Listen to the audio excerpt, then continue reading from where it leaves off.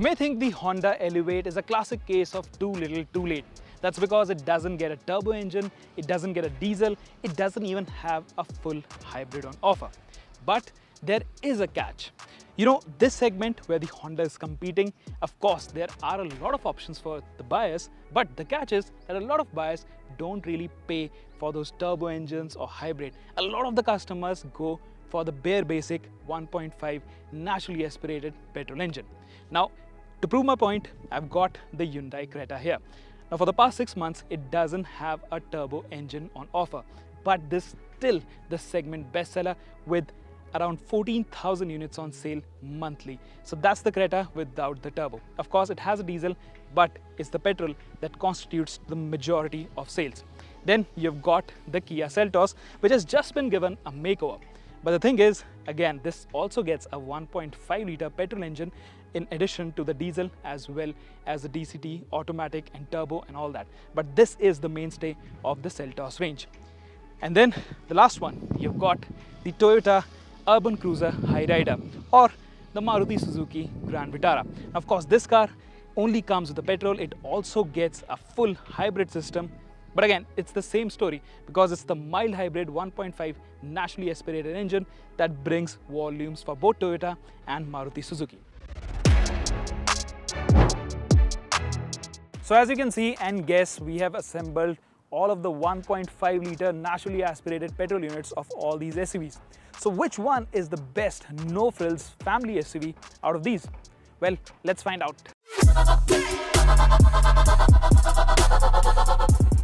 To make this test more objective, we are going to be ranking each of these SUVs on different parameters including design, features, ride and handling, fuel efficiency and so on. The vehicle that's ranked number 1 in each category gets the maximum 4 points, whereas the ones ranked below it get 3, 2 and 1 point depending on the order they finish in. In the end, we'll tally up the score to find the winner of this test. Now design is of course subjective, but for the sake of this review, we have to pick a winner. Now I'll go one by one as to what I think about all the designs of these cars. So let's start with the Elevate. Of course, it looks very SUV-ish.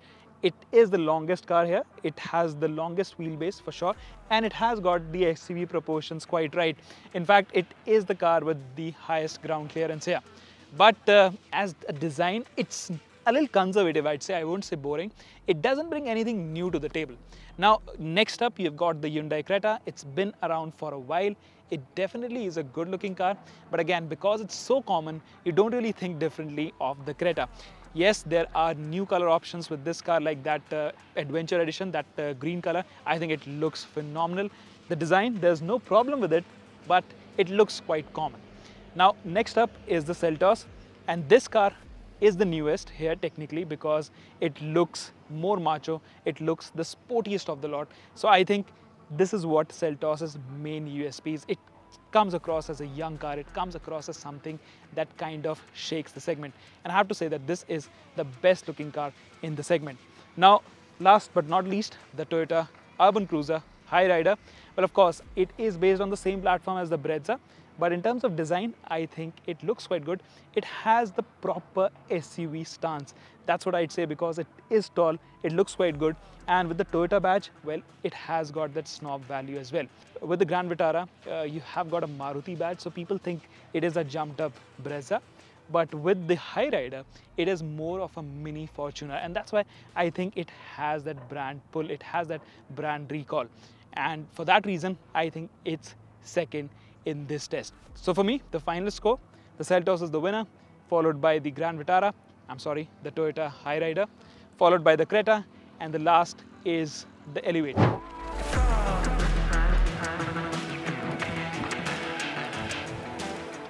So which is the best powertrain here? Let's start with the Honda. It gets the tried and tested 1.5 litre naturally aspirated VTEC engine and it produces around 119 bhp and 145 newton meters of torque. So it is the most powerful engine of this lot.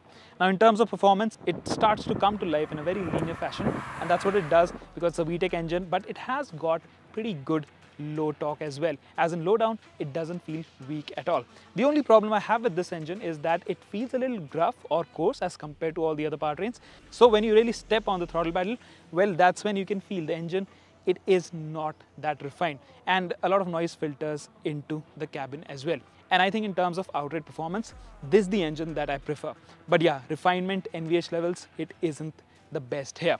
Now this one gets the CVT, the car we have on test is the CVT and I think in terms of drivability it's phenomenal because there is not a single occasion where you feel the CVT is not up for the job. Of course it's not a sporty drivetrain so you can't expect lightning fast shifts but overall if you drive it normally I think this engine and gearbox is pretty much perfect. Now when you come to the Creta it has a 1.5 litre naturally aspirated engine. In fact this and Seltos they have the same engine and gearbox options here. So they are both mated to a CVT transmission. They produce around 113 bhp and 144 newton meters of torque.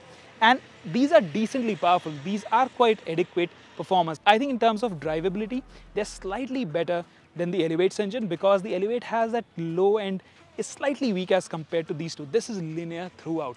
Of course, these engines are not exciting, uh, the Creta and Seltos is, but uh, if you talk about drivability, if you talk about how linearly the performance flows, I think these engines do a better job.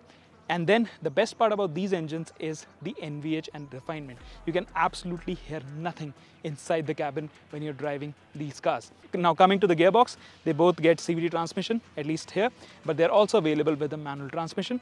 So the CVT transmission, again, it's flawless, it is seamless in its operation. And I have to say that the shifts, especially in the Seltos, felt the smoothest of all the cars here. In the Elevate and even in the Creta, you can feel the jerk, especially while downshifting.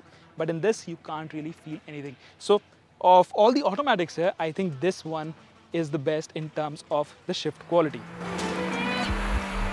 Now, if you come to the Toyota Urban Cruiser Hyryder, and it is Uh, the least powerful unit here. It produces only about 103 bhp and 137 newton meters of torque. Now of all the engines here, I think this is the most refined. At idle, you can't hear it. It is nearly silent. It also gets the mild hybrid technology and that means it is technically the most advanced unit here in terms of that electrified version. Now uh, coming to the performance, of course you really have to ring it because it also has a little bit of lag at uh, low RPMs but once it starts building, it has got ample performance on offer. But it's not as thrilling as the Honda's unit. So uh, the Maruti's unit or the Toyota's unit, well it does the job but it definitely leaves you wanting more. Now this particular version that we have here, it is the manual transmission and the shift quality is brilliant because Maruti gearboxes or Suzuki gearboxes or Toyota gearbox in this case, they are phenomenal. The shifts are really light, the clutch action is light, so you really enjoy working the gearbox. Of course, it comes with a six-speed automatic as well. We have driven it on previous occasions and I'm not a fan of that transmission because it tends to upshift very quickly and it doesn't feel as intuitive as the CVTs on the other cars. So uh, for me, if you're picking up this car, if you want an automatic, it again loses the battle against all of these cars. Now coming to the ranking order, the first one for me would be the Honda Elevate. It is the best engine here, most exciting I'd say. A great drivability, the CVT is also great. Of course, it's not the most refined, but I think you can live with that. It's not that bad as well. So for me, that's the top engine here. But I'd say the Kia is second for me because somehow they've tuned it slightly differently, especially the gearbox, and it feels smoother. So for me, the Kia is number two and the Hyundai is number three. And the last spot, of course, goes to the Toyota Urban Cruiser Hyryder, And that's because uh, this engine, there's nothing wrong with it. But of course, in this company, it doesn't feel as exciting. It's not the most powerful. Uh, the drivability is good, but it's not as good as other cars here. And of course, the automatic transmission, even though we are driving the manual here, is not the best if you're looking for that daily drivability. So this is the order. The Honda wins in the engine department. If you want to know which one is the most fuel efficient SUV here, well, it is the Toyota Hyryder, as it returned a fuel efficiency of 17 kilometers to a liter. The Elevate was second with 15 kilometers to a liter, while the Creta and Seltos were the thirstiest and they returned close to 13 kilometers to a liter.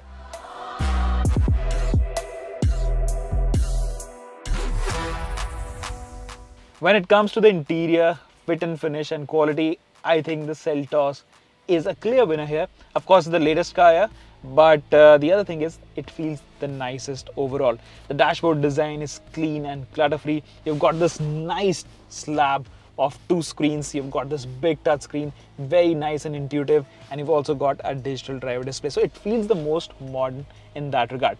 Plus the fit and finish and overall quality, I think it is the best closely matched with the Creta.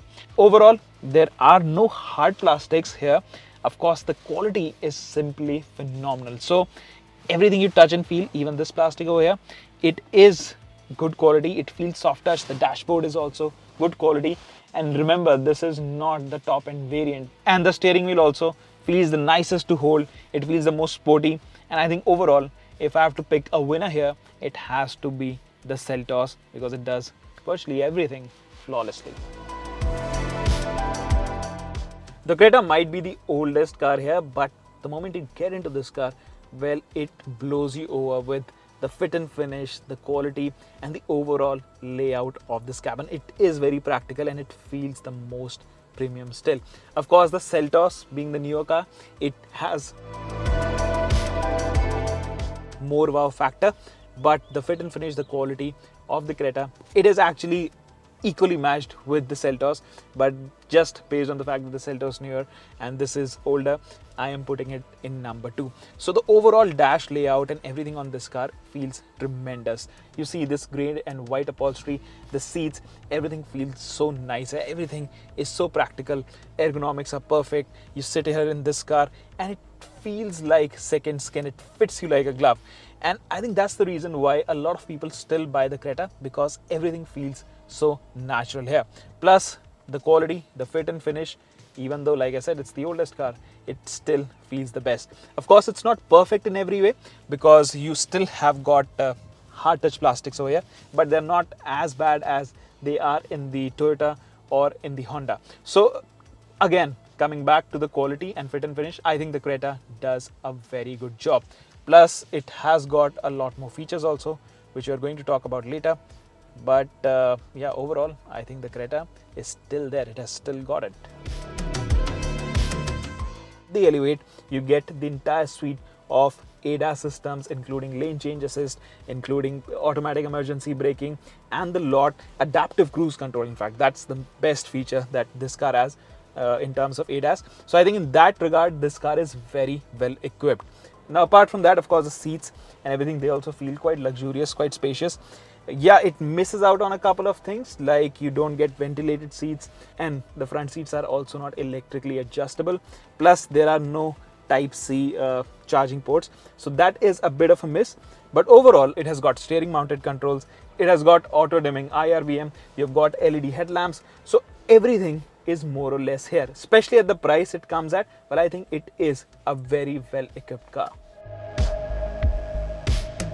The interior of the Hyryder well, it is quite decently packaged and it looks quite good. It looks quite modern. But uh, in this company, I don't think this is the best cabin quality or interior that you can get. So for me, I think I'd rate it the lowest, but uh, that's not to say that it's bad or the quality is not up to the mark. It is a great interior. It is very practical and it's quite spacious as well. The dashboard design is very funky, very sporty, and I think it is a busy design, but there are a lot of elements in here. You've got this uh, soft touch dash over here, and it looks quite premium. But at the same time, the plastics on top, they are quite scratchy and shiny. So uh, again, in this company, it doesn't feel the best quality. Now, when it comes to creature comforts, I think the Creta still is the most well-equipped car here. Now, again, you have the Seltos, you have the Elevate, you have new cars, but if you talk about this trim line, if you talk about the car that sells the most, the variant, I think in terms of that, Hyundai has absolutely nailed it because this is the SX version, but it gets an optional pack. Of course, it comes for some extra money, but you've got a lot more goodies compared to the other cars. It's not even optional on other cars. Like for example, you've got ventilated seats, you've got powered seats, and these are some of the features that make you feel nice. It gives the car a more premium appeal. It has also got Bose audio. The touchscreen is quite nice to use. Then on top of that, you've also got a panoramic sunroof, which is largest in the segment. It feels quite good to use. And overall, like I said, in terms of features, in terms of equipment, in terms of how the car makes you feel, it has that thing going for it at this price point.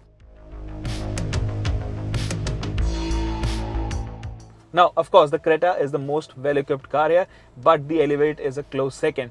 Now, this is the top-end variant. It comes packed with all the features that you'd want in that price segment. Now, of course, the top-end models of the Creta and the Seltos, they are very well equipped, but they come at a price. But this car, for its price, for this engine 1.5 i think it is quite well equipped. It gets a big touchscreen which is quite nice to use. You've got wireless android auto and wireless apple carplay which none of the koreans get. Of course uh, the Hyryder gets it but not the koreans. So that is a great advantage. You've also got uh, this wireless smartphone charger here. Now apart from that uh, of course the main party piece of this car is that for its price it also gets ADAS. Now ADAS is offered with the Seltos but again it's on the top end turbo versions it's not available with the 1.5 but with the Elevate you get the entire suite of ADAS systems including lane change assist, including automatic emergency braking and the lot adaptive cruise control in fact that's the best feature that this car has uh, in terms of ADAS. So I think in that regard this car is very well equipped. Hyryder is quite futuristic. It has got this big touchscreen over here. And I have to say that this is probably the best screen here. In direct sunlight, the visibility is the best of all. Although that said, the camera quality is not that great. It feels quite subpar and the colors are very saturated. At the same time, it is the only car here in this spec that gets a 360 degree camera. So if you want the mid-spec 1.5 mild hybrid engine, not the top end version, I think this is the only car here that gets a 360 degree camera and it is quite helpful. Now again, uh, in terms of features and equipment, it is very decently packed. But uh, the thing is, it is the V Neo Drive version with the mild hybrid and it doesn't get all the bells and whistle which the full hybrid strong hybrid version gets. So you don't get ventilated seats on this top end variant. You don't get a wireless uh, phone charger. You don't get a head-up display. So it misses out on a couple of features. And again it doesn't have powered seats as well. Yes you do get a panoramic sunroof and it is quite nice. But the problem is this shade is very thin and you have got light coming into the cabin. And it also gets really hot when you're driving in direct sunlight or on a hot day. Next up are the seats which are quite comfy and uh, they are nicely contoured. So if you're driving I think they give you nice side support as well. And I think these are probably one of the best driving seats of all the cars here because they feel quite nice. But uh, at the same time they're not ventilated. So yes again like I said you, you do miss that feature here as well. Now uh, the steering is also quite nice to hold. It feels quite sporty and uh, it goes with the overall image of the car. You've got nice analog dials over here, which are definitely the sportiest in this lot. And I really like it because the way you drive this car, it feels quite involving to drive. Uh, the other thing is you've got a USB port here. It doesn't get a type C port at the front, but you've got two type C ports at the back. Now in terms of features and equipment, it is as well equipped as the Creta but of course it misses out on a lot of features because this doesn't get that optional thing that the Creta gets. So that means you don't get powered seats, you don't even have ventilation in the sense the seats are not ventilated although they are available with high trims but in this spec in this 1.5 CVT it doesn't get those features. The other thing is of course uh, it has got a nice screen and all that but again it's latest car but it doesn't get wireless Android Auto or CarPlay. But then Again, coming back to the creature comforts, you've got a large panoramic sunroof, you've got seats that feel nice, you've got these perforated seats. The quality, like I said, it is great. And at the back also, it is quite spacious. So yes, it is very well packed in that sense, but it misses out on a lot of features, especially at this price point. And even the ADAS, it gets ADAS systems, but not on this trim. It is a reserve for the top end turbo versions. So the ADAS suite that it gets, like the Honda, it is there in the 1.5 naturally aspirated version as well, because that's the only version it has. But on the upside, this is the only SUV here that gets dual zone air conditioning. So that is a plus in terms of creature comforts for the Kia. Now space and comfort is one thing where the Elevate and the Koreans are very evenly matched and it's really very hard to choose a winner in this department. But for the Elevate, I'd say that its seat feels the nicest in the sense the cushioning is the softest and it feels quite nice. And the way you're sat on this seat, it feels more like a sedan and not an SUV. That's because the seats are reclined back and as you can see I'm sitting here in a very comfortable position. Plus this car has the longest wheelbase here. So there is a lot of space in here. The space management is really the best of all the cars. Now uh, the other thing is of course in all the other cars you sit a little upright. But here I am lounging sort of. And it feels comfortable but I'm not sure over long distances if you'll appreciate or not. So the sense of space, of course, it's there, but uh, the under thigh support, because the way you're sat on this seat, well, it isn't there. Plus, uh, this has got AC vent here, of course, but they feel very crude, very old styled. I think in the Creta and in the Seltos, they are quite nice, but here it's not that great. Plus, you don't even have a USB port to charge a phone. You've got this uh, 12 volt socket, and I think it is quite outdated in that sense. So, yes, space wise, this car has an advantage, but in terms of comfort, I'd say the feel good factor of the Koreans, well, of course, it is nicer in those cars. Now in terms of space, uh, the Creta doesn't quite have the knee room or the leg room of the Elevate. But if you talk about comfort, I think it does a better job because you sit quite upright here and it feels like a more comfortable riding position. Now um, I'm sat here, I'm 5'8 and I think there is a lot more headroom and I'm sitting in a very comfortable position. I can travel long distance sitting here quite comfortably. Plus these neck pillows over here, they are quite nice to use. It gives the car again a more premium, a more comfy sort of feeling. And I think that really works with the Creta because these small details, they work in Creta's favor. And like I said, this is what people like about the Creta. This is why it's the segment bestseller because all those small details that Hyundai pays attention to, I think it is what the customer wants. Now at the back you've got AC vents of course, you've got a USB type A port as well, there's no type C which is in the Seltos as well as in the Toyota but uh, yeah it works just fine.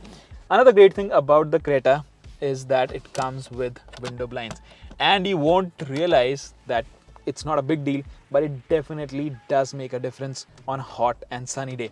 Again small details but if you talk about the overall comfort I think this really plays part.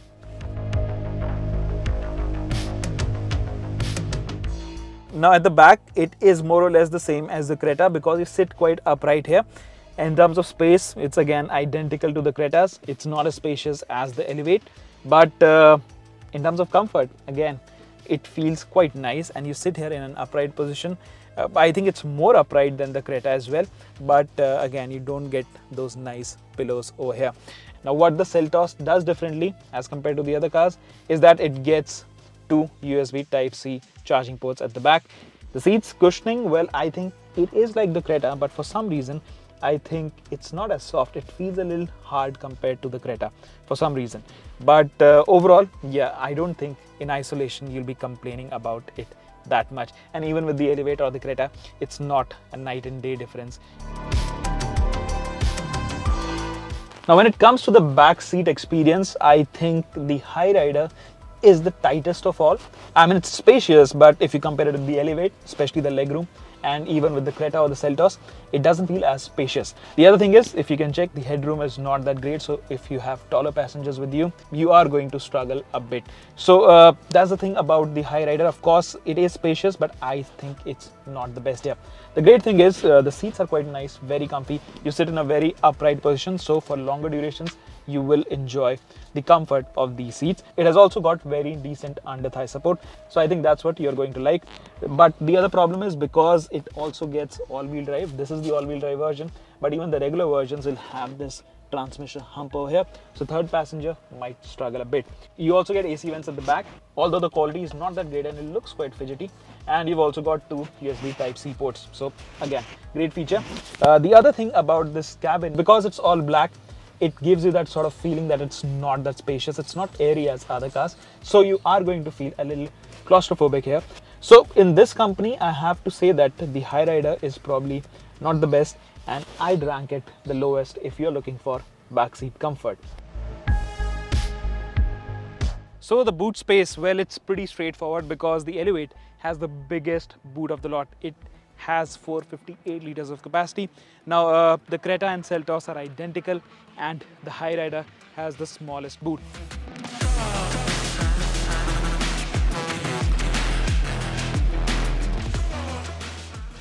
Okay, so coming to the handling of the Elevate, well, I was thinking this is a family SUV and it's not going to behave that well in the sense it's not going to be exciting to drive. But actually, this platform it feels quite potent in the sense how it handles, how it goes around bends. I think this feels quite lively to be honest. Because uh, again, the way you sit in this car, I'm sitting quite low. It doesn't feel that SUV like. It feels more or less like a sedan because you sit quite low down and uh, the steering is also meaty to hold. It feels as if it's inviting you to drive it hard. The other thing that I like about this SUV is that when you're sat here, you get a very nice view of the road ahead. Plus the suspension, again, it's not uh, soft or wallowy. It is quite beautifully damped and it feels perfect when you're going around a bend. And I think it has to do with the platform most of all because the platform feels quite stiff and the suspension even though they can play with it it's not rock hard but uh, the way this car feels around the bend the composure of this platform but i think that's what impressed me the most. And it feels the most agile to be very frank with you. The other thing that i enjoy about uh, the elevate's driving position and driving in general is uh, the steering. It has got nice feedback.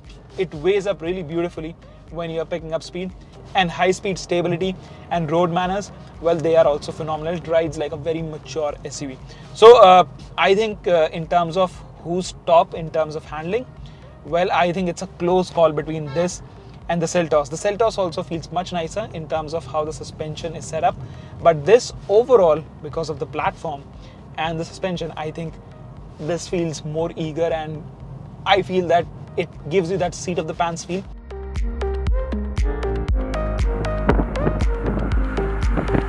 The Creta is not the sharpest SUV of this lot, of course, but that's not to say that it's a lousy handler. It doesn't feel lifeless per se, but at the same time, it's not the most exciting, and you don't feel like, you know, that you have to push it hard around a bend. It has body roll, but it's not to the point where it feels out of control or sloppy in that sense. It is a very nice, well behaved SUV. And I think for regular folks, that's what matters. But yes, if you're someone who wants a more sporty driving experience. But I think the Creta doesn't quite cut it, especially in this company. But uh, on the whole, I don't think you can complain about it because it is quite a decent handler. The only problem with the Creta is uh, probably the fact that, uh, yeah, it does feel a little uninspiring to drive in the sense how it handles. But overall, I'd say the Creta does everything that a normal person would want. And the steering is also nice. It weighs up really beautifully. If you're doing high triple digit speeds, it feels quite good to drive. And the stability is also good. It doesn't feel floaty like the earlier Cretas. But overall, in isolation, I don't think anyone will have any problem with how the Creta handles. Now this is the same car as the Creta but there is a night and day difference between how this car handles because it definitely runs a stiffer setup. So uh, the steering is also well weighted if you go around a corner at a faster pace. I think this is the car that feels the most planted and it also feels to enjoy it. If we have to talk about the handling of the Hyryder, I think it sits somewhere between the Creta and the Seltos in the sense uh, it is a very neutral handler, but uh, in terms of driver involvement, I'd say it's slightly above the Creta, but uh, not as great as the Seltos as well. Uh, and the reason for that is quite simple because the steering feels quite lifeless in comparison to even the Creta. But uh, yeah, in terms of body movements, in terms of body control, I think it definitely has less roll than the Creta. Now, uh, the other thing that I really love about this car is again the platform. Just like the Elevate, it has got solid underpinnings. You are going to like the agile nature of this chassis. So that's quite good. And I think, uh, again, it's not really a driver's SUV per se, but I think it is quite good in terms of handling. The only slight trouble is, again, like I said, the steering it doesn't uh, self-center quite quickly and uh, the other thing is also the steering feels quite dead at the center. So that's the only drawback i'd say in terms of handling with this car. Now unlike the Seltos which is tuned for a sporty handling the Creta is tuned for comfort and that shows in the way it rides because uh, the ride quality is simply stellar. It feels so beautiful. Everything is so well damped that it keeps you isolated inside here. Apart from uh, bumps at really low speeds, let's say when you're driving it over parking speeds in your society or in malls, the speed breakers, that's when it feels a little stiff. But other than that, I think the Creta suspension is meant for Indian roads. It's tailor made for Indian roads because it feels absolutely perfect everywhere. In terms of ride quality, well, I think the Elevate is a bit of a mixed bag. It's not as comfy as the Creta or the Hyryder. Now, uh, what I like about this thing is that if you're driving at really high speeds, you will appreciate how stable it feels. And when you go over wavy roads, it maintains that composure. The road holding is quite brilliant. I was not expecting it in a Honda, but yesterday I was cruising at around 120 kilometers per hour on the highway. The ride quality was phenomenal. It was soaking up bumps and undulation on the road perfectly well. And at the same time, it felt quite confident. At low speeds, yes, like with the Creta, it is a bit noisy at really low speeds if you go over a bump. Like for instance, that just happened. If you go over a bump at a fairly higher pace than usual, you really have to come to a standstill if you're going over sharp bumps. But if you take them without a bother in the world, you will feel that noise through the suspension filtering into the cabin. And I think in that regard, it doesn't feel as abuse friendly as the Grand Vitara or the Hyryder. So yes, in terms of ride quality, I'd say it is closer to the Creta, not as good, but uh, yeah, if, if I have to choose a car with the right ride and handling balance here, I think the Elevate is going to have it.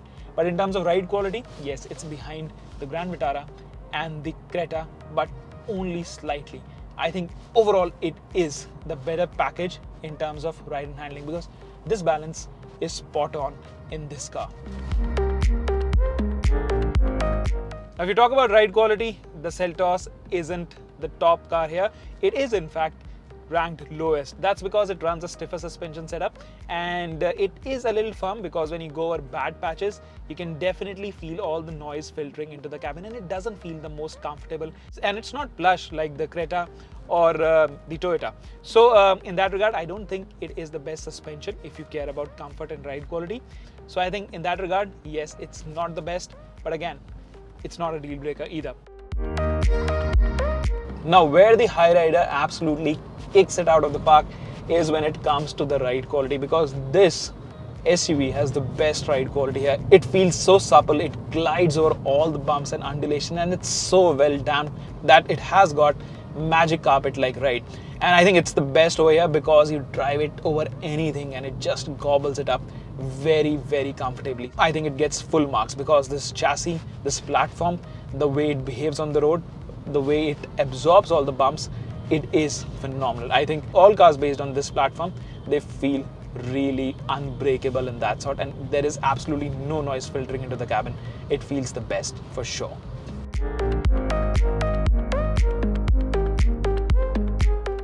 Well, I have to say, in this department, all the cars are very evenly matched. The Creta and Seltos get 6 airbags as standard, which is a great thing, while the Elevate and Hyryder come with dual airbags as standard, but they also come with 6 airbags in the top end variants. If I have to pick one car here, I'd say the Elevate has a slight edge over others because of its ADAS systems. When it comes to offering the best value for your money, the Elevate trumps its rivals.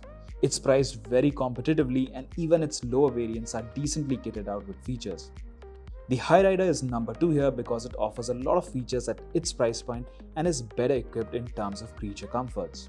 The Creta is the most feature loaded vehicle here in its SXO trim, but it costs nearly 1.5 lakh more than the top end Elevate, so that's quite a bit of stretch.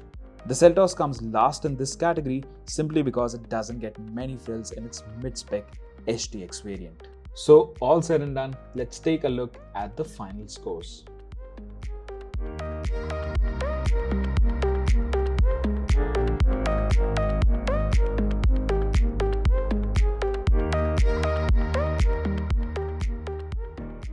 We have the final scores with us and it's the Honda Elevate that has come out on top. So that means it is the winner. But you know, the thing here is that it has won by a very slim margin. And to be honest with you, I think all of these cars are winners in their own right. The Elevate appeals to someone who cares about the value for money proposition, who loves to drive, who wants a spacious, no nonsense SUV. I think the Elevate does that. Whereas the Creta, well, it is evergreen and it is the bestseller for a reason. It does everything. It is a jack of all trades. Plus, it is the most feature packed and I think it's also priced brilliantly. Of course, it commands slight premium over all of these cars, but then it brings a lot more to the table. Next up is the Seltos. Well, I'd say it is identical to the Creta, apart from the fact that it is its younger sibling, so it's sportier and it's more premium in a sense that it has a more youthful approach. So if you want something more sporty to drive, but you want all the features of the Creta, I think the Seltos does that. Lastly, the Toyota. Well, I think the Hyryder does everything that you want from an SUV in this segment. It is the most fuel efficient here. So if you're after efficiency, if you're after reliability, the impeccable bulletproof reliability of Toyota or Suzuki, I think this is the SUV to buy. So all of these cars, like I said, they are winners in their own right and it ultimately depends on your individual preference. But yes, if we have to pick a winner in this test based on our scoring, it is the Honda Elevate that has come out on top and it is the winner of this no frills SUV test.